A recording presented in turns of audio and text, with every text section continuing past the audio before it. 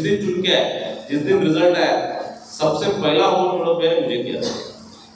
और मुझे ये आश्वस्त किया था कि भैया कुछ भी हो जाए। यानी सरकार बने ना बने, पर हमें भाजपा के साथ रहूँगा। ये भी बहुत बड़ी बात है। दूसरा उसके बाद विनोद भैया को सभी पार्टी के लोगों का सभी बड़े बड़े आमिष दिखाया गया। यानी खुद उद्धव ठाकरे जी की तरफ़ से अमित देसाई जी आए थे। उनने इनको राज्य मंत्री बनाने का भी कबूल किया था।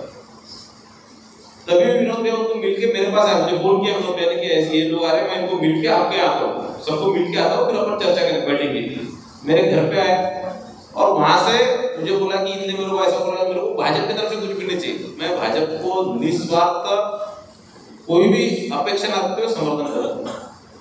तो ये इसीलिए विनोद भैया भाजपा के थे, भाजपा भाजपा में पैदा हुए विनोद भैया। भाजप में रहेंगे और भाजपा में ही अंतर रहेंगे ये भी आपको पता बड़े